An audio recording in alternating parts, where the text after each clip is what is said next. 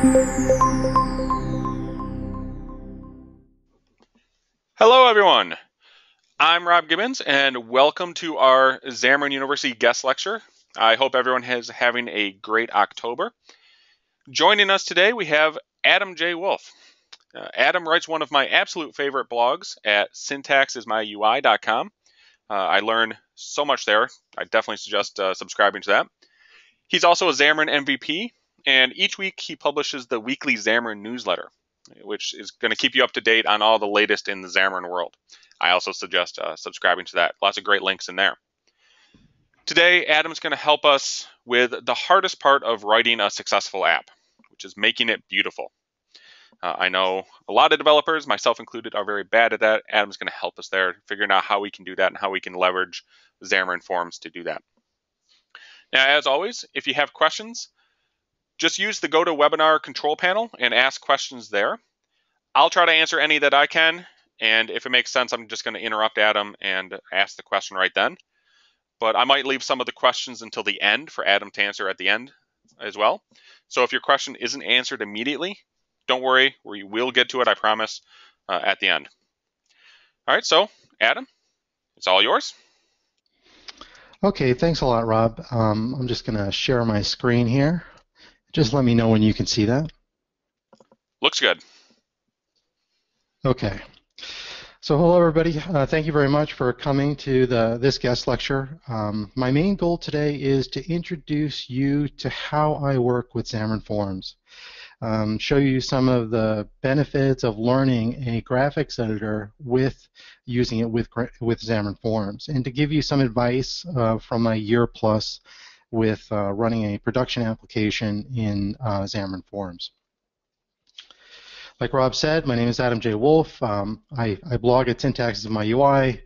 Email right there at adam at adamjwolf. Please email me if you have any questions that might not be uh, good to ask them now. Um, I answer about a question or two uh, every morning about uh, Xamarin Forms, um, so don't uh, don't worry about sending me email. I, I usually answer them right away. Um, I uh, tweet at uh, Twitter at Adam J. Wolf. And uh, Rob did talk about the weekly Xamarin newsletter. We are on our 60th week. Um, and we are going strong. Uh, we got about a thousand uh, Xamarin developers that uh, subscribe to that regularly, and have a lot of fun um, producing that every week on Friday. So just a little bit of background about me. Um, I'm 20 plus years in the field. Um, I was a back-end developer, uh, especially Azure, Message Bus, Web Services, Microservices. Uh, I loved WCF, and I can't really explain why. Um, it's just some, something about it I really liked, and uh, on any project that I was on, I was usually the guy that did it. Uh, for the front end, I was an HTML, JavaScript, AngularJS uh, have been my UI of choice, and I've also written my fair share of Silverlight, WPF, and Windows Forms. Now I am a, um, a mobile developer writing C Sharp on the client and Node.js on the back end. I know that seems kind of odd. Um, I use Node.js mobile services to back the mobile app that um, we write at uh, my current employer. Uh, soon to be C Sharp. When we originally started it, Node.js was the only choice for Azure Mobile Services, um, but we're going to be migrating that over to C Sharp so that we'll use C Sharp on the client and then C Sharp at the back end. I've been writing Xamarin Forms code for well over a year, and I truly do love it. Um, but a little uh, disclaimer, I like writing my Xamarin Forms in code and not XAML. Uh, despite that, I still think we could be friends. Uh, just give me a little, a little time to get my XAML on, and uh, I'll be up to speed with everybody else. When Xamarin does add support for F-sharp PCLs in um, Xamarin Studio, I probably will be writing all of my Xamarin forms in F-sharp instead of XAML or C-sharp. Um, I have four apps into production, uh, some of them Android, some of them, some of them iOS, none of them Windows Phone. Um, the first app on the left over here, uh, the first app out was uh, GCU Maps application. I worked for Grand Canyon University, and GCU Maps was a three-week from start to store, literally file new project. Three weeks later, we were in the iOS store, and that was a Xamarin iOS project. All of the uh, design and all of the um, graphics that we use in that application came right out of um, a graphics editor that I used. Um, the only thing I reused from my company was some of the colors and um, some of the logo. The GCU logo there is pretty common. Um, the next app here was a Xamarin Forms application, uh, all the way from the beginning. This is the GCU student application. All the design and um, all of the code from this application uh, was uh, from me. I was a single developer, and we needed to write a application where the students can figure out where their class was, when it was, where they needed to go, how much their bill was, and things like that. So that application's uh, been out for a while. We've deployed it 15 times to iOS and Android. It is backed by the, those Azure Mobile Services, and it uses iBeacons. And this is a complete Xamarin Forms application. We have have code reusability for Xamarin Forms close to 99, maybe 98% if I actually counted up all the lines. We have very, very few. Um, we have very, very few uh, specifications for just iOS or just Android. So mainly those things are the beacons. Um, those are different on both platforms. Obviously Xamarin Forms doesn't do the beacons for you. Um, so that's most of the code that's in that 1 to 2% that wasn't reusable. Uh, the next application, design and code, was from um, an application that I built during recording of teaching a Xamarin Forms uh, 1.2, 1.3 class. This class is no longer available because it was Xamarin Forms 1.2, 1.3. So some things have changed, so we, we've, we've taken that out. We don't, uh, I don't have that up on the, the blog anymore. The fourth one here, um, some good folks down in Brazil contacted me and asked me to write um, their front end Xamarin Forms application uh, for their company. And this company was called Trackbox, and you can find this app in, in the stores. And basically, they gave me some comps or some uh, pictures of what they wanted the UI to look like, and they asked me, hey, we want a XAML um, you know, XAML code, styling all around, and we want it to look like this. And uh, I did that for them. All of it was in Xamarin Forms. It happened pretty easily. The styling was actually pretty nice, um, and it's it, and it can be found in the store today. The last one, uh, we're actually looking to do another application for my company called GCU Life. That application is going to be publicly facing and not require a sign-in. We are debating whether to do that in Xamarin iOS, Xamarin Android or use Xamarin Forms again. I think that I don't think there's anything that we wouldn't be able to do in Xamarin Forms, but uh, we might want to actually dip our toe into just using Xamarin iOS and um, Xamarin Android. Okay, so that's a little bit about uh, my work history. Now, like Rob was saying, that um, I have some stuff on my blog, and back when we first started the GCU uh, applications, um, you know, we had Xamarin 1.2, 1.3. We didn't know if Xamarin would be a good choice to go, or we would use Xamarin iOS or Xamarin Android. So, and I didn't like the vision coming from Xamarin because Xamarin kept talking about Duplo blocks and forms over data for Xamarin Forms. And I looked at this and I said, I looked at the platform, I looked at Xamarin Forms, and I said, I think this is much more capable than Duplo blocks. I mean, you know Duplo blocks, they're the big chunky blocks that you give a like a two or a three year old and they're putting them in their mouth. They're not really like stacking them up and making anything. Uh, I really looked at the platform. I said, can this really do something better than Duplo blocks? So I decided to try to use Xamarin Forms and Anger to create a you know, beautiful looking UI or UI that you would swear came from uh, Xamarin iOS or Xamarin Android. And this is some of the things that came out of it.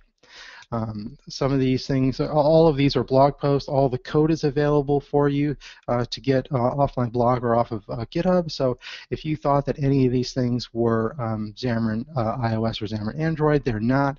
They're 100% uh, Xamarin Forms. Uh, there's a few um, plugins used here, especially for the circles. Uh, for the faces in the list, I use uh, James Montemagno's um, circle uh, renderer. Um, but everything else, it just comes from uh, Xamarin Studio and a graphics editor that I use. Okay. So the graphics editor that I use is called Sketch. Now I use Sketch because um, Adobe Illustrator was way too was way too scary for me. There are so many buttons and so many things going on with that program. I looked at it and I said, I don't know if this is going to be good for me. So around three years ago, um, I originally bought Sketch because I wanted to develop things that looked good. Um, you know, as a developer, doing this for 20 years, being a back-end developer, um, you know, my UIs were gray with Battleship gray, with like black, and that was it. I mean, maybe there was one or two colors, um, but that was really it. And I looked at some of the things that people were making, and, and I said, I want to be able to do that. And the only way I'd be able to make really good looking UIs is if I controlled more of it. You know, most of us do not have the luxury of working with a designer. Most of us work alone, um, usually on a project, maybe with a, maybe with a couple of people. I don't know about alone, but we wouldn't be working with um, designers all the time. And if you have a designer on your team, you're pretty lucky. I've been working for many years in the field, and I've worked with a designer once. Um, and hopefully, um, I will work with more designers in the future. I really like what they do, and I would like them to do make things really, really nice for me so that I can just use those assets. But when you're all alone, the only thing you can really do is kind of roll up your sleeves and figure this out yourself. Um, if you can use Visual Studio, you can learn how to use Sketch. Now, I am a uh, colorblind person. I like using Sketch. Uh, it allows me to do a whole bunch of things that I normally wouldn't be able to do. So let's just take a really quick tour of Sketch. Let's just go around. Here we go. And here is Sketch. Whoops. Let's make that bigger. Now, Sketches is, not as scary as some of the other programs. You could see it's actually pretty minimal. Uh, down the left-hand side, we have a bunch of pages, um, and each one of the pages has separate um, properties of what's inside of it. Each one of the items actually has a property pane to the right, and in here we can do things like add borders, add shadows, and stuff like that. The top bar is pretty minimal. As you can see, if this was um, Adobe Illustrator, the top would be crammed and then the whole left side would be crammed with different tools. So for Sketch, our tool palette actually is pretty small. Um, you know, we have vectors, pencil, some shapes that are in there, regular text, an image, artboard slices. So the main thing that you would be using is some of the shapes, especially let's say if you wanted to create a star uh, for your application. You could throw a star down. You can then change its color to something that you would like. And then if you so chose, you can add some shadows to it and then bump those shadows up. And then once you had your icon or whatever you wanted to use, let's say you wanted one filled and one not filled,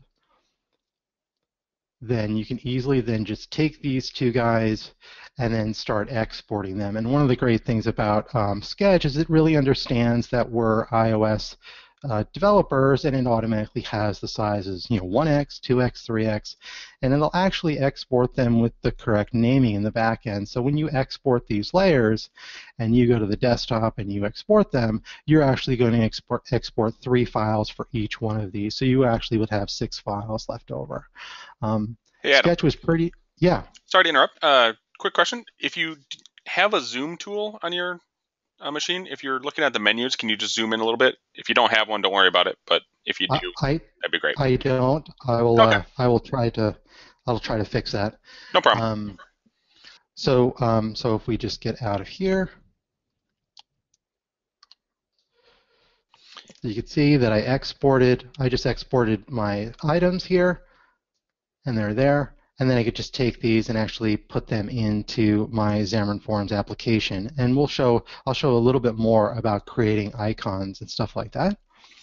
So, quick question: Will that uh, create Android as well? Android icons? Sure will. So what you basically do is you could just say uh, make exportable. You could change this to you know 512W, or if you wanted the 48, all you do is 48. Hit Tab, um, and then when you do the uh, export for the bitmap, just hit save. There's your bitmap right here. The one thing that it doesn't do is it doesn't put it directly into the drawable folders that you probably would like, but there is a plugin that you can use that you just select an item and then you use the plugin and it'll export it all in the different sizes. So uh, 48 by 48, 72 by 72, 96 by 96. Um, and so it makes creating icons and assets for Android and iOS actually pretty easy. Um, with the plugin, it definitely helps. Obviously, with uh, iOS, we have our lovely naming system, but for Android, we definitely need those uh, drawable folders. And those icons, can they have transparent backgrounds?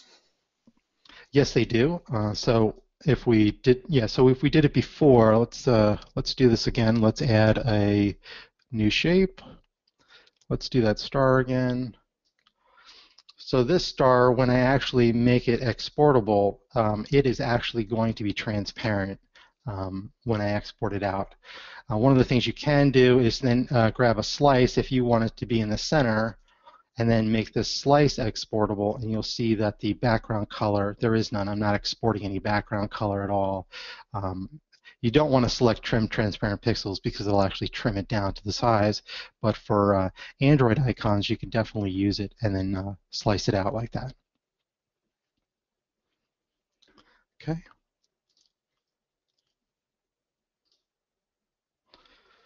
All right. Okay, to create great design in uh, Xamarin Forms uh, for iOS and Android, um, you really must make your app look native on each platform. An iOS looking app on Android looks just as odd as an Android app on iOS. Now, Xamarin Forms does help us by using the native controls, but you as a developer and possibly the designer must respect each platform's design guidelines. Uh, these two will help you understand uh, what each user and OS expects. Um, I don't know about uh, most of you, but if you've not taken a look at the Google Material Design documentations, you're definitely missing out. Um, it is one of the best design docs I have ever seen. It has some really, really great advice in there. I have stolen many things from it um, to help uh, write iOS applications also um, with using some of the material design docs. Um, some of the things that have happened with um, the new leadership at iOS going from a very skeuomorphic design to a more flat design from some of the changes that they had was a little striking. So, you know, in, in iOS, we used to have you know, faux leather with stitching and stuff like that, and we used to have like green felt and stuff like that. Now it's all uh, very white. It's it's very uh, stark in contrast. But in Google Material Design, you know, and, um, Google has uh, brought forward um, a nice design that doesn't go as far as what um, Apple has done, and it really makes the UI look really good. And I know, Rob, that you just tweeted this morning that you wish you could get iOS hardware with the Google design and Google Play and Google Play services in the back end. Um, and I thought that was quite funny because I was thinking exactly the same thing. That if I could get a little bit of more material design in my iOS applications, I would really like the way that looks.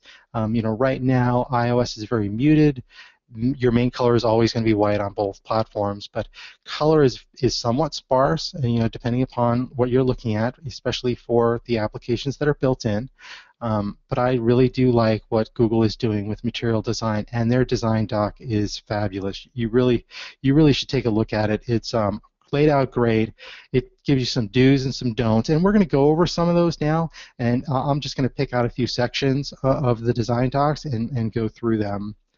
Um, okay, so let's uh, let's talk about colors. Like I told you guys, I am a colorblind developer, and Sketch makes working with colors uh, pretty easy for me. Um, so let's take a look at what it says inside of the Google uh, material design docs. It says that color is color in Android is an inspiration. It's inspired by bold hues juxtaposed with muted environments, deep shadows, and bright highlights. I don't know who writes these things, but I think they they moonlight as a you know writing uh, copy for catalogs. Um, I don't know about seeing juxtaposed um, inside of a material design doc is, is great. I, I think it's funny. I, I really like it. Um, but what Google is basically telling you here is to limit your selection of colors by choosing a couple of colors, primaries, um, maybe an accent color, um, and then use opacity for text. So let's take a look at what they mean by this. Now Google says that you should be taking like a primary color, so if this was an app that we were building and we would wanted indigo as our primary color, we would pick a primary color in the 500 range, so this range right here, and then we would pick a lighter and then a darker color. So maybe we'd pick a 300 and then maybe the 700, or maybe we'd go even farther to the 900. So in our code in our backend, we would have three colors. So um, we would have three of these colors, and then we would pick an accent color. I don't know about pink with you guys, but uh, it really wouldn't be my first choice. This is really what they're telling you. Only pick a couple of colors. Uh, don't go crazy is their main advice for you.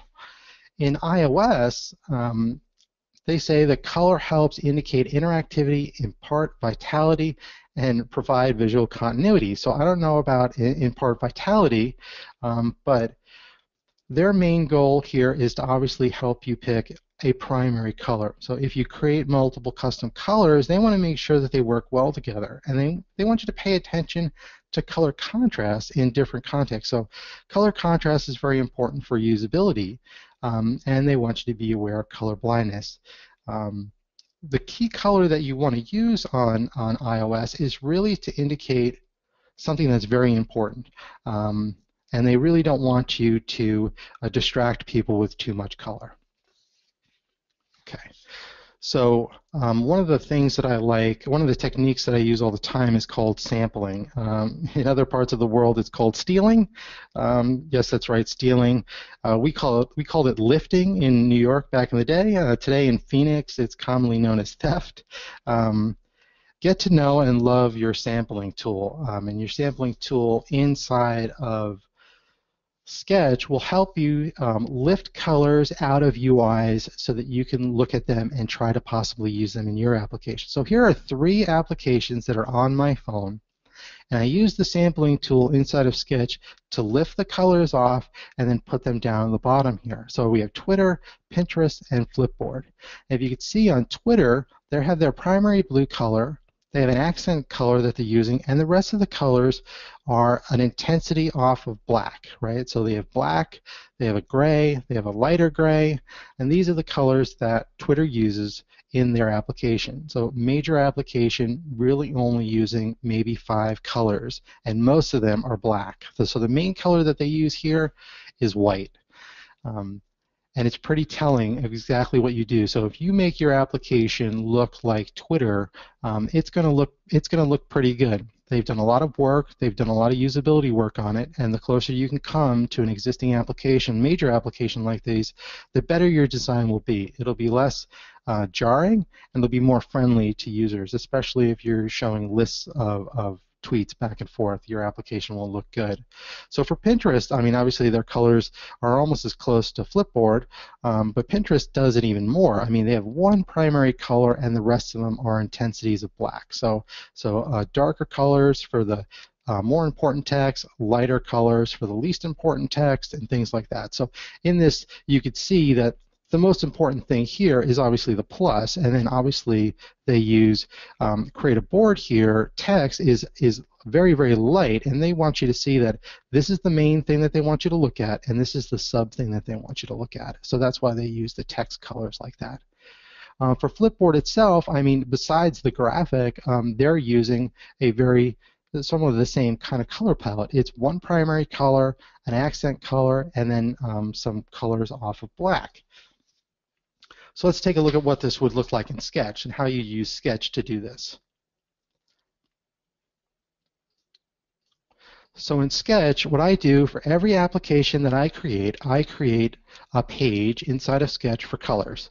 Basically, I just throw a couple of uh, circles on here, and then I start setting their colors the main color that I always use um, is always like a brand color. So I, for every app, for every uh, company that I ever worked with, they had a brand color. Uh, usually, you just go on the website and you look for um, color palettes or their marketing materials, and some of their marketing materials will have the colors that they want you to use to represent the company. Um, so for Coca-Cola, it would be red, right? Um, for Pepsi, it would be one of their blues. Um, so some companies, and for GCU, the company that I work for, um, it's purple. It's a, it's definitely purple for them. Um, so if I was going to use a blue color um, for my main color, and I, I picked this color, and this was the brand color, I needed a light and a darker color. So to a lighter color would be moving this circle towards white, and for a darker color, it would be moving the circle towards black. is an easy way to get a lighter and darker color of the one main color that you have here. And then I just really picked an accent color. Um, so for my brand color, you can see where the circle is, and then if I go to the lighter one, you'll see it just shoots over to the left here. It was over here, now it's over here. And then for the brand color, if I wanted a darker color, I just select the darker color, and it just goes further down towards the black. And then my accent color was just a color that I thought looked good with the blue. And, and we'll get to this side over here in some of the next slides. So what I do when I have those colors and I can go to Sketch and I can say, okay, well that's the color that I want, Sketch actually gives me the hex color of that color. So any color that I choose in here, I will be able to get the hex color. I then take that hex color and I go to my app.xaml and I put them in. So here I have an uh, easy, uh, in the app.xaml in the resources, um, in the app resources, I put a couple of colors down and I reuse these colors throughout uh, the application for doing styling. Uh, one of the one of the things that this helps with is it obviously helps is if you change your light color, your dark color, or your accent color, you really only have to change it in one place, and you just change it in the app.xaml. Now, I, like I said before, I like writing my styles in code. Um, so what I do is I create a stylekit.cs class, which is just a static class, and that static class just has some uh, public properties on it, and they would be brand color, brand color light, brand color dark, and brand accent color. So your resource dictionary to start out would look really like this. And this is just a way for us to corral our colors together. The next part of a good um, Xamarin Forms design is going to have to talk about typography. Much of your app resol- revolves around text. If it's one of the mo- it's one of the most important parts of the design. Unless you're making games, I mean, games have a little bit of text in it, but most of the most of the things about um, doing games is about the graphics and gameplay, not really about the text. Um, even Pinterest and Instagram have a lot of text. Even though they're really about the images, they do have a lot of text. So for Android, and the material design docs um, talk about one thing. They say use Roboto, um, which is really easy um, to sort of follow this advice. And they say, and this is a quote, Roboto has been refined extensively to work across a wider set of supported platforms. It is slightly wider and rounder, giving uh, it greater clarity and making it more optimistic. Um, so I don't know exactly how Roboto is more optimistic than Helvetica, but I guess it, I guess it might be. So um, I have one warning for people that are creating Xamarin Forms applications on Android. And this is something that happened to me. Uh, we did the GCU application, we released it, and um, everything's great one of the developers that had an Android device actually downloaded it and put it on put it on their device, and they said they showed it to me because you know, hey Adam, this looks pretty good, and I look at it, and he must have changed his system font to something like Comic Sans, and it looked terrible. I don't know about you, but every every text in the app used the default font, the sans serif font. And because he swapped the base font out, it was Comic Sans just all over the place. And to me, it looked pretty pretty bad. But he liked the way it looked. Uh, he you know, he changed his own um, Roboto out for uh, some Comic Sans equivalent on Android, and um, it did change the way the app looked. So um, onboarding some of your own um, fonts might be a good idea on Android, um, but it's something that you have to be aware of that will happen to you if you use uh, Android. So for uh, iOS, so in iOS apps, they say use San Francisco as the font, and this this comes straight from the HIG documentation too. Um, they say, in, uh, this is a quote, in general, use a single font throughout your app. Mixing several, several different fonts can make your app appear uh, fragmented and sloppy. Instead, use one font and just use a few styles and sizes. So I have some warnings for you. These are warnings that um, that you would see in a regular HTML application. In some fonts, you basically shouldn't use. Um, these are really cliche fonts. Um, so if you try to use the papyrus font for something that's really old, it looks like the you know ancient Egypt script. Don't don't do that. Obviously, Comic Sans I'm not really a fan of unless your uh, app is about comics. Um, Lithos is another font. Um, if your if your app is about uh, a Greek wedding, you know my big fat Greek wedding kind of text, then then it's understandable. Futura, um, if your if your app is about outer space, maybe maybe stay away from that one. If it's if it's not about outer space, um, and then Lobster. Um, Lobster is a very uh, overused font. Um, I know you can, you might even be able to Uber a Lobster roll to your desk, um, but it's just something. Some of those fonts you really shouldn't be using in your applications. So for fonts, um, in the app.xaml, what I do is I use the on-platform, and I select three fonts, for Android and iOS. They're they're the same font, but they're just different styles. So for a regular font family, I pick in iOS, I pick Helvetica Neue. Um, for iOS 8, San Francisco wasn't in there. For iOS 9, San Francisco is in there, so you could use that. Um, for Android, regular sans serif. Um, if Roboto is the default font, you'll get the Roboto uh, sans serif. Um, and then a light font family. This is just a thinner version of the same font um, for you know things that might be quite large. If you use a very large text uh, for like headers and stuff like that, you want to use a thinner, lighter uh, style. This is where the light font family would come into. And then for iOS, we use Helvetica Neue Light. And then for Android is the sans serif light and then the same thing for the medium font family. This is not exactly bold. It, it's uh, not as bold as bold. Maybe it's half the weight of bold, um, but it's in between the regular and uh, bold. Um, so we use the Helvetica Neue Medium and the sans serif Medium here. And then inside of app.xaml, we'll put this in, and now we have colors for our application, and we have the fonts uh, or the font families for our application. So your resource dictionary should look like this, colors and then font family, or could look like this. Um, another thing that I do is I create a typographic scale just like our old friend HTML with you know H1 through H5. Um, but what I do is I create this scale, and it's based on a typographic scale. That typographic scale goes from you know, 12, 14, 16, 20, 34. Um, it is a uh, preset scale that looks pretty good on the web, and I'm really trying this out in uh, Android and iOS for my Xamarin Forms so that I don't just willy-nilly pick different font uh, sizes throughout my application. It, if your application has consistent font sizing, it'll look better to the user.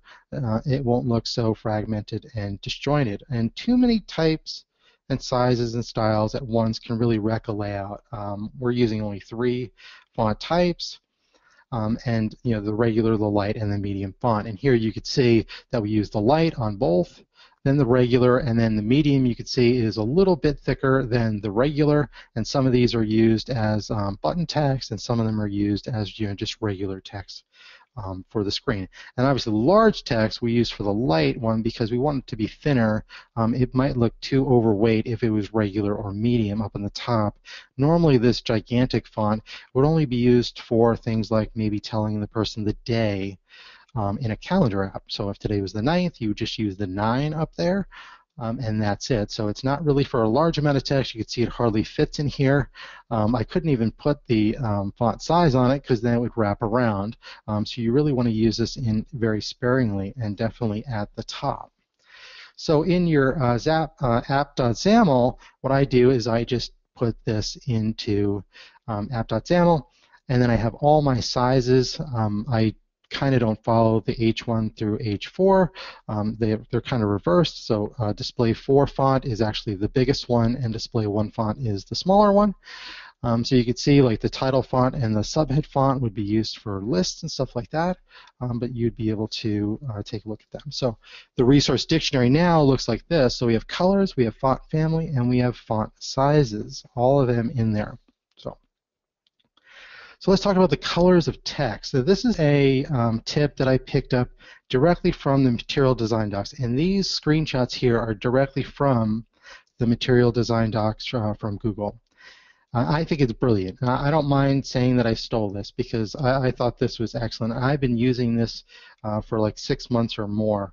Um, one of the things that they say is instead of picking different colors um, for different um, text types, um, they say use opacity. So on a light background, so this center one here, on a light background, let's just say it's white, they say to use a base color for your text as black. For the primary text, they say use 87% opacity. So basically what they're saying is they're saying don't make it completely opaque. Um, just make it an 87% opacity. So you're getting 13% of the background shining through the color. Now the text color would be this color under my mouse. It wouldn't be this color that the text is over here. It actually would be this color that's under the mouse or the background color here. So this text color might be the um, text color in a um, in the text cell inside of a list view. This would be the text the secondary text color would be the detail, and that is uh, a 54% opacity. Disabled hint text, 38, it would be this color. And then dividers would only be 12. So on a white background, a divider that was only 12 would be pretty interesting. You're getting 80% of the color from the background coming through your divider, but you would only have to use one color. It would be the black color, and you're just changing the color based upon uh, the opacity. Now they do the same thing and they flip it on the other side. So on a dark background, even this black, they're saying use a white text, and for the primary text, make it 100% opaque, so it's it's completely solid. Um, for secondary text, make it 70%, so 30% opaque, so 30% of the color in the background is bleeding through the white, and you can see we get this kind of this gray. Then 30 for disabled or hint text, so that means that 70% of the background is coming through. And then for dividers, only 12% is going to be white, and then you're going to get most of the background. And what this does with colored backgrounds and accent colors, it actually changes the color of the text. So let's take a look at Sketch, and let's see what this looks like. Okay, so this second part here that we looked at has um, the white background, and here's the primary, the secondary, the disabled, and the divider. And then on the black background or a dark background, we have the primary, the secondary, the disabled, and the divider. You can see the divider is so dark you can almost not see it, but using dividers in uh, Xamarin Forms, you won't really don't want those dividers to stand out too much. They would be very subtle, and this would work. So one of the keys is what if we change this background, this light background color to using our sampling tool to, let's say, our a light brand color. So you can see that they're not obviously the one that's very dark is very black. It's very, very dark, but the lighter one actually looks like a blue. And then we could do the same thing for the primary for the dark. So let's use the dark color, and you can see how the text, even though it is um, one color, white on this case, black on this case, changes the color from white to actually being partially the dark brand color. And this is pretty interesting because it doesn't require that you pick each one of these colors, um, either on dark or on light. Really, you're just picking white and black and then just setting the opacity to change the colors. So let's take a look at what that looks like. So this is a this is just a simple Xamarin Forms application, uh, Android on the left, and then iOS on the right. So what we do here is I just have the text colors on the white background and text colors on the dark background, and I've tried to do the brand colors. Now this is one one case where it works very well. So what the um, the on we use the white on the dark colors, and it came out very well. It looks really good. Um, but when we try to use the um, the white colors on the uh, background, this looks very washed out. It doesn't really look very good, so you're going to have to flip it like I did here. You see so the brand accent color is somewhat dark um, on this lighter color, so you're going to have to flip them around. But this just gives you an idea of what just setting the colors for the text to be one color and then modifying just the opacity makes some of the colors look really good, and you don't have to pick every single color that's out there um, that you would need for your app. So let's take a look at what this would look like in app.xaml. So in app.xaml, if we were going to do the primary text color, what we would use is the factory method from RGBA, and we would set this to black, 000 is black, and then we would set the opacity to 87%. Now, for the secondary te text color, we would do the same thing, but the opacity would be 54%. Now this is for the dark colors on a light background. So when we do the other ones, we have to change the name a little bit. So the primary text color on dark, we don't, this is fully opaque, um, so it's fully solid. We don't have to use from RGBA, so we just use the one color. And then for the secondary text color on dark, this is white, 255, 255, 255 is white, and then 70% is the opacity. So if we're going to look at our uh, app.xaml, it would look like this now, right? So we have a colors, we have our font family, we have font sizes, font colors, font colors on the light-hand side, font colors on the dark-hand side. So with that, we can do this. We could start creating styles that combined all of these things together. So if we had a, the title label of our um, text cell, and then with the subhead uh, style for our subhead there, we would just be able to pick uh, for the text color, we would say the primary text color, and then for the font, we would say the title font. Title font also has the font family in it, and this one style would include the font size, the font family, and the color. So Adam, quick question. Uh, sure. What are the performance implications of that, uh, particularly with view cells, which are typically uh, performance bottlenecks? It's a question from George. So one of the things that, so some of the advice that I'll give you down the bottom is um, view cells need to be created within a very, very short amount of time. If you are creating um, view cells that take a long time to create, your application is not going to be very responsive. Um, this is something that is a problem in, you know, if you're using Objective-C on iOS, this becomes a problem. Um, and it's something that people need to worry about their performance. Now, if looking up the, through the um, visual tree for the static resources, so when um, you're looking at styles and you use a style down in, let's say, a page, and then inside the page you have a list view, and then inside the list view you have your text cells. If going and looking up from the uh, text cell through the list view, through the page, back all the way up to the app.xaml for your resource dictionary is a problem, um, you're going to have to obviously find that out. And if, if that is a problem for you, you really should be pushing as much of those resources down as close to where you use them and where you create them. That's one of the issues that I have with using resource dictionaries. You know, on a on a desktop client, on a desktop, you have a lot of horsepower to be able to in WPF or let's say in Silverlight, you had a lot of power where you can you know throw a core uh, you know so throw one of the cores of the machine to go look through all of the dictionaries, get them set up so that they're very fast and very performant.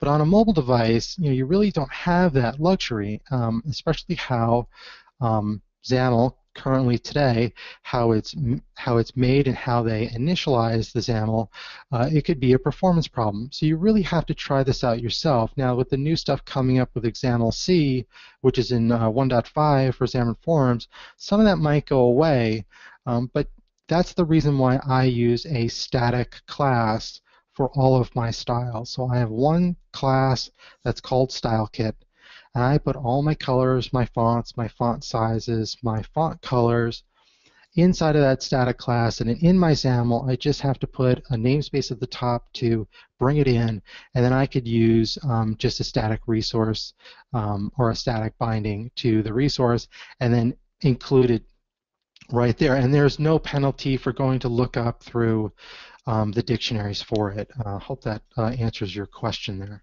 Yeah, well, how about the uh, the performance implications of actually having the transparency, the the opacity uh, defined there? Um, uh, that I don't know. Obviously, um, if it's slower um, when you're using it, then you can just really go and get the color. So one of the things we can do for uh, Sketch is we'll come back here and let's say you're doing it on let's say you're doing it on white. Obviously, we can come through here with our color picker if we really needed to.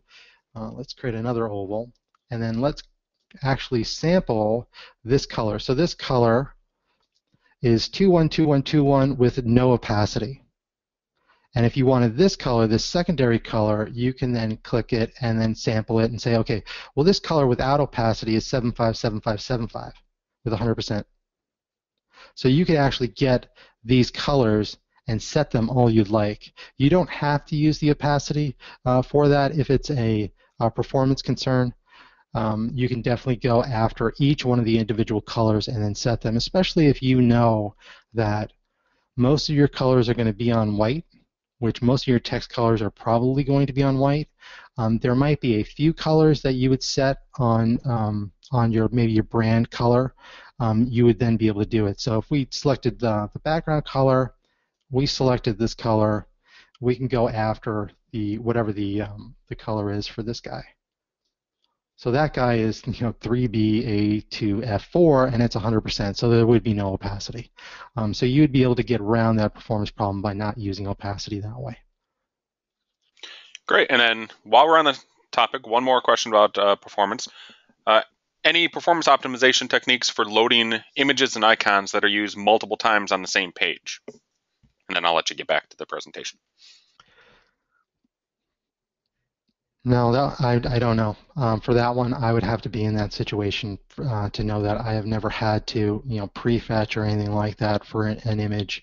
Um, you might be able to reuse the image source. I'm not even sure about that, so um, I would have to look into it. Great, thanks. And uh, George mentioned he actually has a library called FastImage uh, Cell that could, oh, okay, could yeah. do that as well. So maybe maybe that would work. All right. So let's move on to uh, icons. Um, uh, so whether you use only custom icons or a mix of custom and standard icons, all icons in your app should look like they belong together uh, from the same family in terms of the size, the level of detail, and the visual weight. So for Android, um, in the design guidelines, it says um, Android icons should be simple, modern, friendly, and sometimes quirky. And, and, this is one of the reasons why I like the, the material design guidelines. They're actually they'll actually say quirky in it. Um, and this is a direct quote from there. It says each icon is reduced to its minimum form with every idea edited to its essence, the designs ensure readability and clarity even at small sizes. Um, so Android icons are typically chunky is the one word that I would use to describe them. Um, they're also very uh, strict with how they do things. So you'll see that there's not a ton of curves except for the circles um, on the icons, and the only time they really do put curves in it um, are mostly at the corners or unless it's required. I really enjoy these icons. Um, they're quite uh, blocky, and you can see how they would look good at small sizes. They're basically melted down to the only thing that's needed. And that's really what your icons on Android should look like. For uh, iOS, it says the iOS icons should be simple, streamlined, and readily understood. Or so too many details can make an icon appear sloppy or incomprehensible. Um, not easily mistaken uh, for one of the system-provided icons is one of the things that they, they point out. They really don't want you recreating the system icons. Um, and then users should be able to distinguish your custom icon from the standard icons at a glance and readily understood and widely accepted um, so they say strive to create a symbol that most users will interpret correctly and that no user will find offensive. So that kind of goes without say. You really don't want to put offensive icons in there. And this is what the icons for iOS looks like. They're um, more square but much thinner. And Even the ones that are filled out actually have more detail in it, more minor details in it than Android ever would. Um, so you could see why I would say that Androids are more chunky, and then for um, iOS you want to actually use something that is a little thinner and maybe a little bit more detail. So one of the things that uh, Android does for like let's say a pencil, they want it to be without the eraser top and stuff like that, without the lines or the grooves on it. It just needs to look like a pencil um, and just melt it down. Um, one of the packs that I use is called Picons. If you're looking for Android or iOS icons, Picons, I've been using Picons for a really long time, and that is definitely one of the reasons why some of my Xamarin Forms things look really good or look better is that I have this icon pack of like 1,400 icons from Picons, and they're the thin icons uh, from them, and they're really helpful. They come in all the different sizes, but they also come in SVG. So the scalable vector graphics, for me, is the way I do most of my stuff. So let's take a look at some of these. Um, for these icons. So in in uh, Picons, and let me open uh, Picons. So this is the what you get um, when you order the um, icon pack from Picons. You get this one sheet, and I, I, use this sheet all the time, and I go through and pick the icons I need. So you can see that there is quite a few icons in this pack, um, and then each one of them is pretty interesting. And they're mainly uh, um, iOS icons. As you can see, they're very detailed, they're very thin, they look very good on iOS. They come in the 1x, the 2x, and the 3x already, but if you have something like Sketch, you can then take care of that for yourself. Um, but they just keep going and going. I rarely ever have a problem finding the right icon for my applications when I have a big icon pack like this.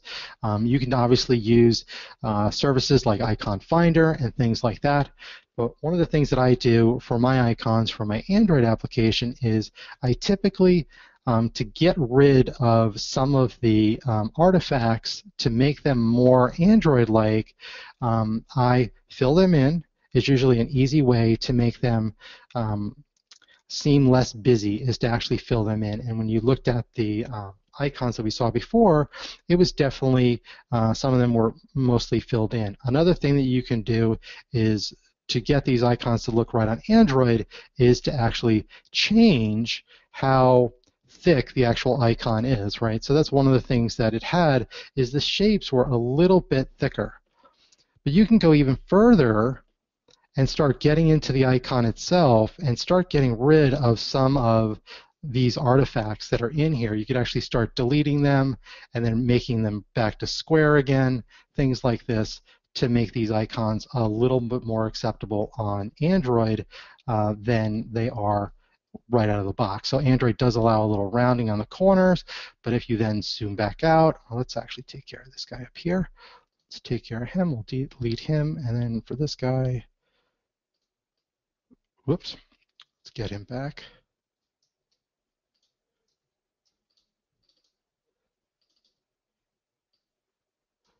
We'll just square that back off, and then when we zoom back out, we have an icon that might look a little bit more appealing on an Android device than it does just using the stock one that looks good on iOS. All right, so let's go back to our slides. And I, I really want to encourage you guys to take a look at the icon packs. Um, Picons is just the one that I've liked for a long time. There's a single developer or single designer that designs them and then sells them uh, direct. So let's talk about some assets. So this is one of the features of um, learning a graphics editor that I really like and which really helps me when I'm making stuff in Xamarin Forms. So let's take a look at Sketch again. So in some of the um, some of the Xamarin Forms in Anger um, series, I did a little bit of work um, inside of uh, sketch to help Xamarin Forms look a little bit better. And this first one is uh, one of the Xamarin Forms in Anger. This is Woofer. Uh, it was just the name I came up with. Uh, this uh, dog in the middle is Alabama Wolf. It's uh, one of my rescue dogs. He does have a brother named Washington. Um, I have not made a Xamarin Forms in Anger about Washington and I might in the future. so for this application or for this form that I did for uh, Xamarin Forms in Anger, I really wanted to do a screen that was about a profile of somebody. Um, and what I wanted to do is wanted to show what using layers, either with a relative layout or a um, absolute layout you would be able to do. And one of the things I wanted to do was I wanted to show how you can sort of modify images. So this would be just like in Twitter, you can upload a background image for yourself. I wanted to put a background image, but what I didn't want to do is I didn't want to be square. I wanted to have a different arc to it. Um, and doing this technique is actually pretty easy if you have an editor. And all I needed to do was create an image that was this all this image is is a dome. And that's it. It's just an image, and what I basically do is I put the background image down first, and then I actually put the dome over it. As you can see in the Xamarin Forms, I just make sure they're lined up correctly, and then put them down there. And it was easy for me to do that. This dome took just a few seconds to make, and I was able to um, make the uh, Xamarin Forms look a little different because people were saying, well, how did you do that? How did you cut this off like this? How are you able to do that?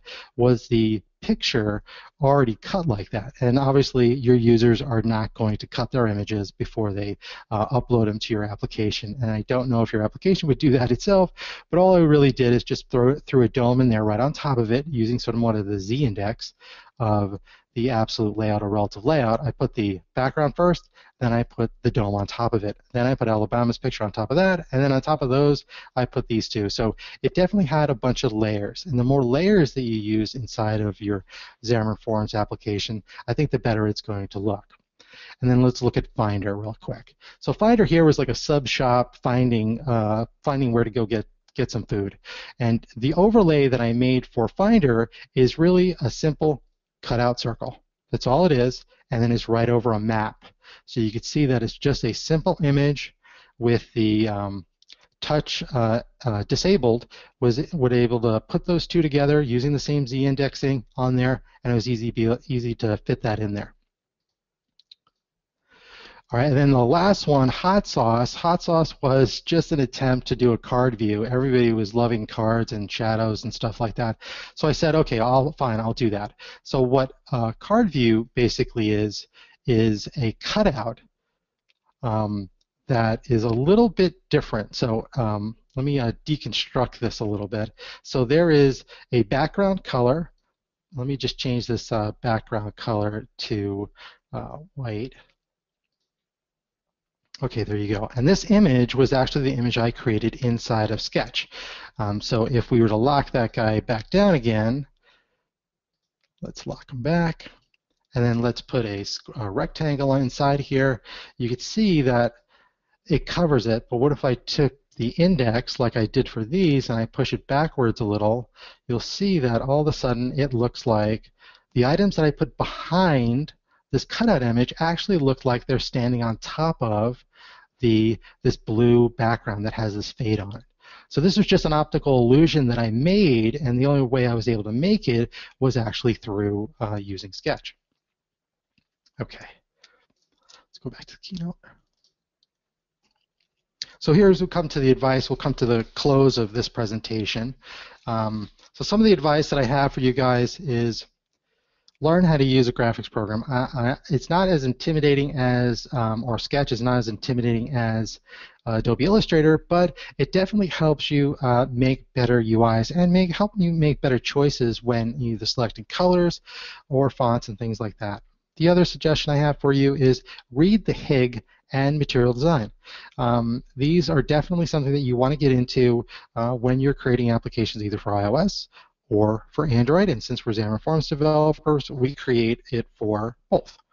Um, get a good icon set. Now, some of the icons that you saw with Picons definitely wouldn't be usable on Android, but with a little work and a little maneuvering, you could get them to look pretty good using one of those large icon packs is very uh, good because all of them look the same. They look like they're from the same user or from the same design is why I use a large icon set. When you use um, Icon Finder or other places like that, you might be able to get a few icons that look close to one another, but the problem is, is that if you pick it from two different people, you might have two different styles. Um, I personally create a style kit in code, and, and that's what I do. I don't really use uh, app.xaml very often, um, but I use uh, style kit. And either if you use the resource dictionary or if you don't, um, create one for yourself so your application is very consistent all the way through. Put all your fonts, your colors in the base of the application in app.xaml or in a uh, style kit. Shadows are hard. Um, this is the thing. I, I, get so many questions about this. It's unbelievable. I originally did um, on the. Um, I originally did a um, card view, and people were asking, "Well, what about the shadows? What about the shadows?" Um, so shadows are hard to do on devices without support. Hopefully, in some of the next versions of Xamarin Forms, we get a Xamarin Forms frame that gets the border, allows you to set the border, the border radius, the border color, the X and Y, blur, and spread. I know that's a lot to ask, but if I would get those things, uh, shadows would be a lot easier. If you want to do shadows, you just go to Sketch, um, pick a square, throw the shadow on there, export that out, and then use it as a background, and you can have a card view that is a background. Um, the next uh, piece of advice I have for you is lists should be simple. Um, this is uh, sort of the bane of existence for most developers on iOS or Android to make very performant lists. If your lists are very long, they should be simple. If your lists are short, they could be not lists and just be stacked panels of information. And this is where I used it here. This right here was just an exercise of showing um, the different things that are inside of a class. So a class is not going to have you know, a thousand or a hundred um, exercises in it, it's going to have 10. It's going to have 12. So that's why this was simple. But as a list, simple is better. Um, is definitely what you want to do. All right, and that is it. If uh, Rob, if you have any other questions for me, I would love to answer them. Yeah, we have a, a few that I left towards uh, the end. So okay. we have a question uh, from Esteban about uh, can you have only XAML styles for targeting Android without needing to change the Android native styling XML? Okay, I think I understand the, the question, I think. Um, so one of the things that I didn't get in here because we only really had an hour was you have a lot of ability in Android and iOS to change the styles before you even get inside of Xamarin Forms. So please don't think that styling for a Xamarin Forms application happens only inside of Xamarin Forms. Um, some of the best things that you can do is to use the themes in Android to change the way things look when Xamarin Forms runs. You can also do the same thing for iOS using the UI appearance protocols. So before you actually do um, you do Xamarin Forms.init in your um, app delegate, you can actually change things like on the slider.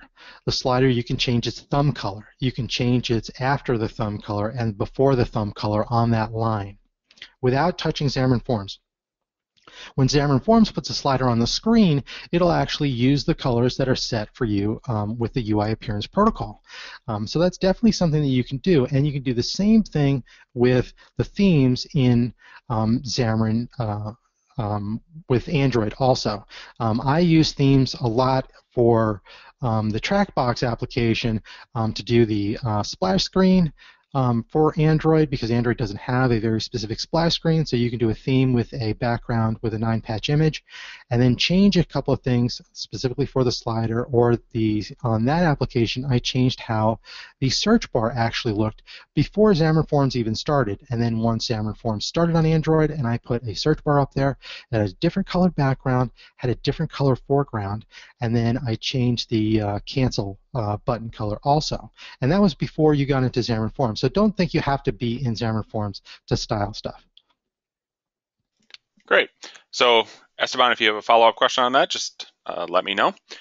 Another question from Brian is, how do you handle accessibility when you're hard coding your font sizes?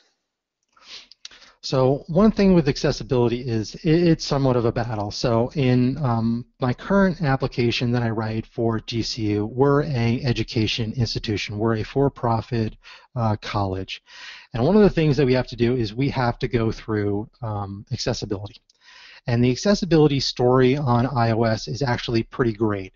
Um, inside of iOS, um, you could say, you know, I want to turn on accessibility and I want to increase the font size and that's basically where it's left. So I can set the font size to whatever I want, and they can, when they're running their application, increase that font size through the settings app, and then go over and the font sizes will be increased eh, throughout the application. For Android, that story is a little bit different. Um, it, it, somewhat works the, the same way, um, but you have to um, put your font sizes to some you know to some number. I know we can use the inboard device micro, uh, medium, and large and stuff like that, but um, for iOS it still works. Um, when they increase the font size in the settings, it will increase in your application. Great. Okay, and uh, another question from uh, Yuri: How do you adjust to different screen sizes? So, for example, in the hot sauce the background blue image fits nicely in the screen that you showed. what if we run this on the iPad? How does it stretch?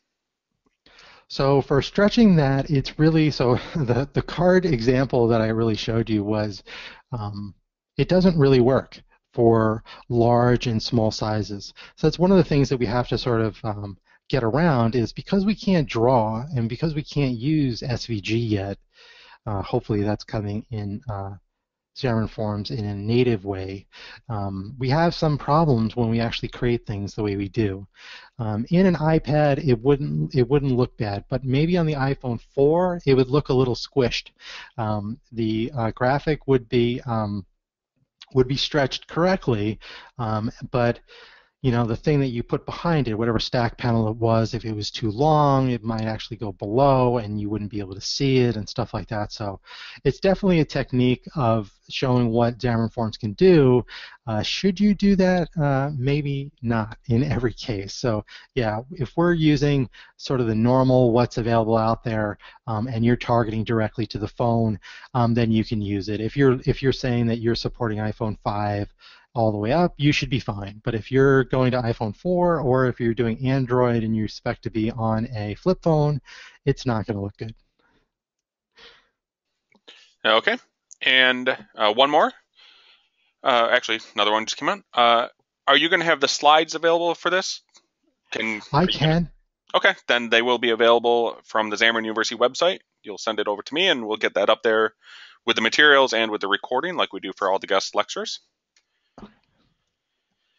And uh, question from uh, George: Have you seen the work that George has done about uh, embedding pages in pages to create uh, totally custom UIs? So, George, wondering if you have any opinion of that technique, if you've seen it before. Um, I have not seen it. Um, so for the for the past couple of let's say uh, past six weeks, um, if it has come out in that time, I must say that I have not read everything that is out there for Xamarin Forms. When I do the newsletter, I try to read every single article um, as much as I possibly can.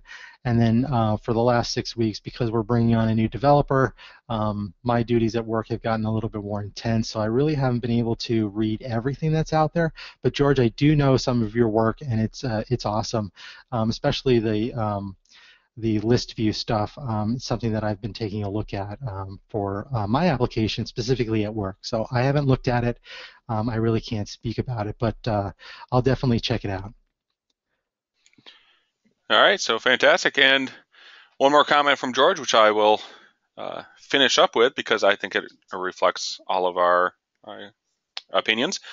Where George says, Thank you, Adam, for the excellent presentation and for all your work in the Xamarin community for your blog and your weekly Xamarin newsletter. It's uh, all fantastic. So thank you uh, so much. Really appreciate it. I know I learned a lot, and uh, like I said, UI design is one of my my weak spots. So it's great to see all of this information, how to use Sketch and things like that.